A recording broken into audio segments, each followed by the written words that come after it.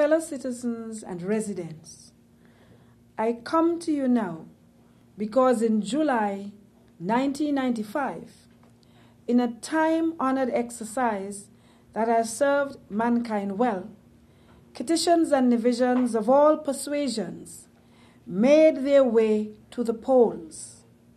And there, in free and fair elections, you expressed your wish for the St. Nevis Labour Party to assume responsibility for the protection and advancement of our country and our people. This was a sacred and serious responsibility then, and it remains a sacred and serious responsibility today. For the trust that you repose in us, and for your continuous support and prayers, we sincerely thank you. July being our anniversary month, therefore, I thought it would be a good idea for us to reflect on the road that we have traveled together, as well as to raise our eyes to look collectively at where our current path will lead us. Our country in 1995, you may remember, was different in many ways. We had endured a number of crises that had brought a degree of international focus and disrepute from which we all yearned to be free. And so this government set out in a spirit of inclusion and discipline to restore the international image of St. Kitts and Nevis as focused, stable, and well managed. We out to put in place the types of policies and programs that would expand the options and opportunities available to Kittitians and Nevisians of all socioeconomic levels. Changes that would enhance their potential for upward mobility and deliver to them greater material security.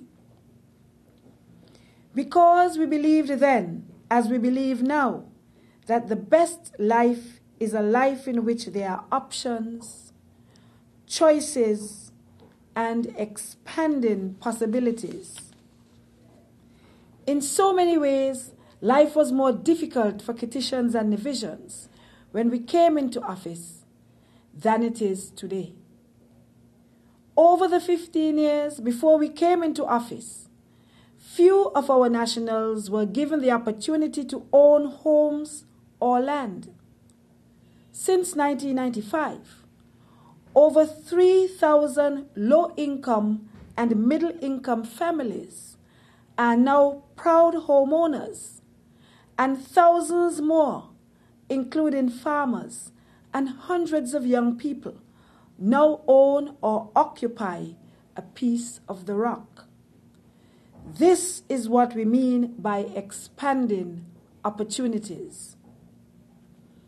Or students, or nationals needing to quickly get to relatives abroad, or businessmen needing to transact business in a timely and efficient manner, had a far more difficult time doing so. There was no way for any of us to get easily to major cities for purposes of school, family matters, or business. Perhaps it did not matter that much at that time, since very few of our young people were being given loans to travel abroad to study.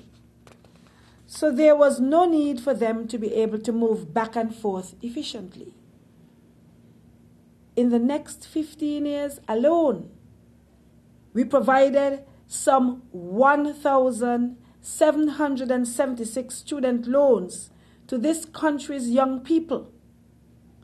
This is what we mean when we talk about expanding options. Another reason the country could have zero direct flights to major cities before we formed the government was that there were practically zero international organizations choosing St. Kitts and Nevis as the site for annual meetings, summits, and conferences. Being able to get to and from the Federation was therefore not that important. Not even one hotel was built during the 15 years prior to 1995.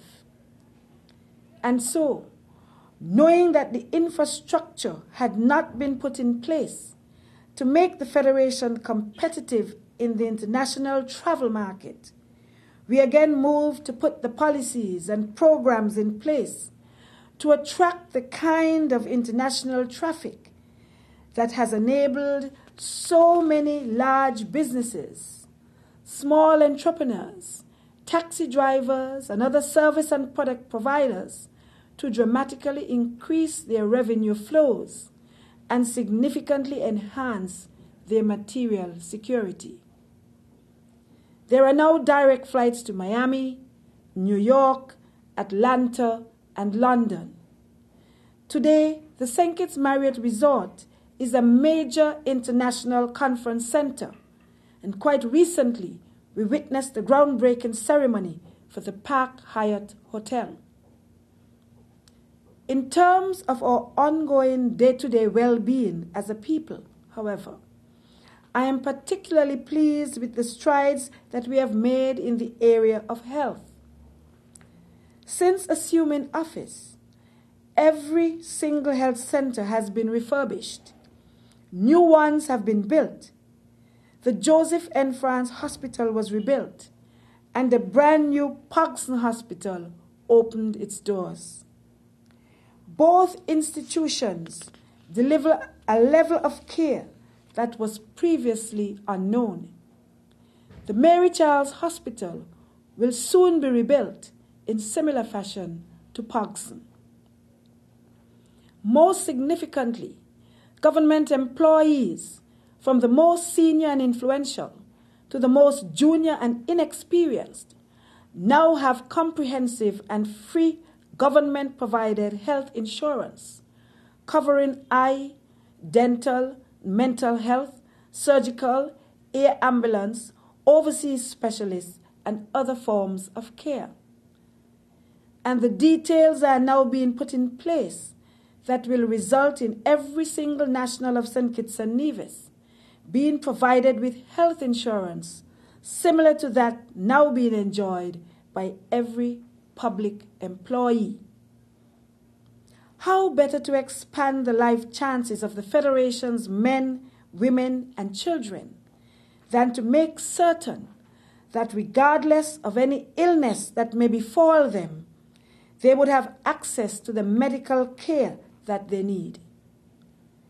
And what better way to enhance our people's sense of material and emotional security than to ensure that never again would one's property have to be sold, or loans desperately sought, or life savings depleted in order to pay for sudden and chronic illnesses.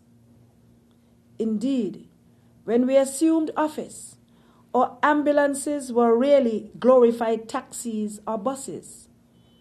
There was nothing that ambulance attendants could do to aid those on the way to the emergency room.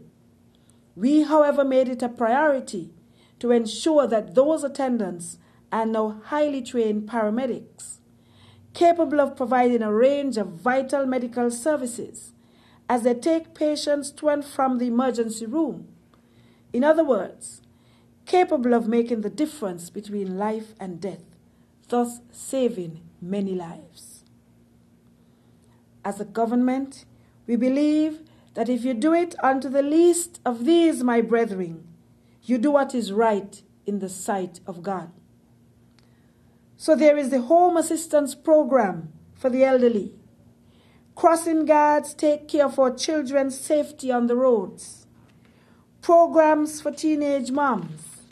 Assistance to children whose parents are incarcerated. And foster care for those who are without families empowering women has been continuously pursued since 1995.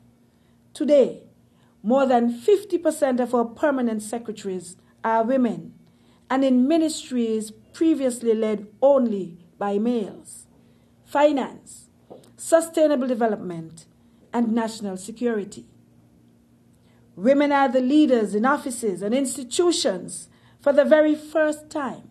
Social Security, Director of Public Prosecution, Head Magistrate, Controller of Inland Revenue, the Head Veterinarian, and Drum Major, to name a few.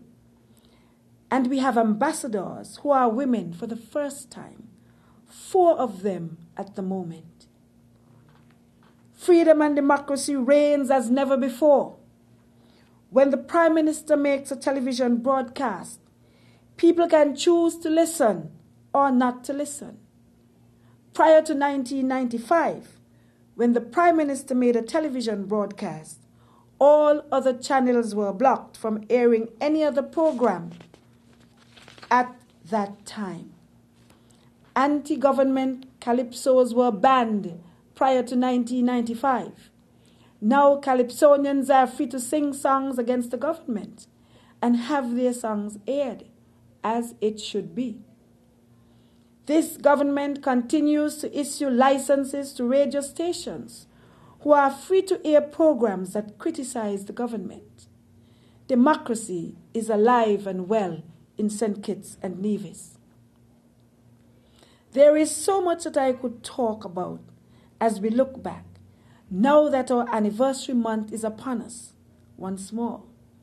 But there is so little time. I began by talking about our determination when we assumed office to convey to the world the image of a focused, stable, and well managed government. And this we have done. Our debt is down as a result of very hard work and quantifiable results. Our St. Kitts and Nevis is now classified as a high income country. The IMF, that most harsh judge of world economics, has consistently rated our performance highly. Investor confidence is up.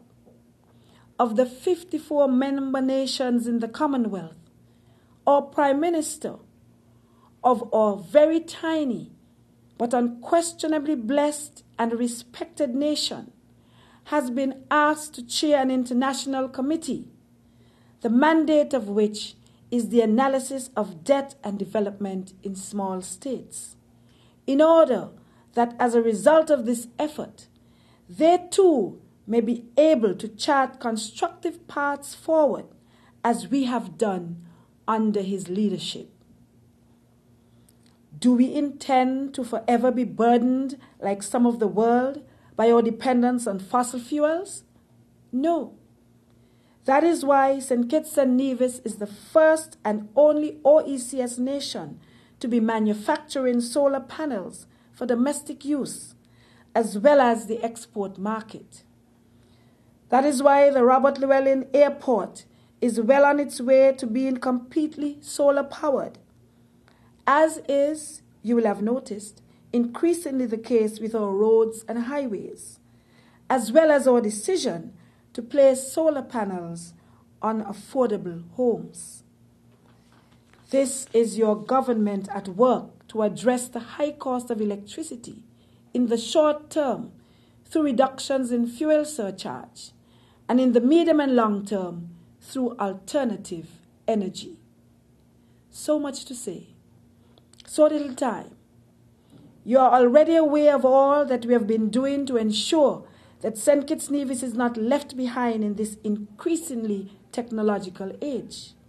You know of our information and technology training programs. You know about our decision to provide our students with laptops, which is really the same as placing a computer in every home.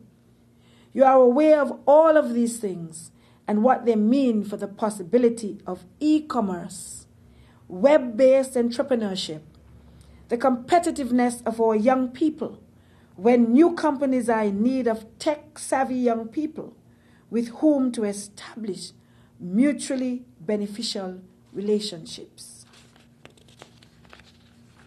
Finally, we are almost out of time, but the nations of Europe, reeling with high levels of unemployment and the level of economic stagnation that is causing real anxiety have been berated by Europe's powerhouse, Germany, for not having been sufficiently forward thinking to have introduced the types of apprenticeship programs and skills acquisition programs that would have expanded skill sets across Europe and expanded the options open to the people of Europe in general and the young people of Europe in particular.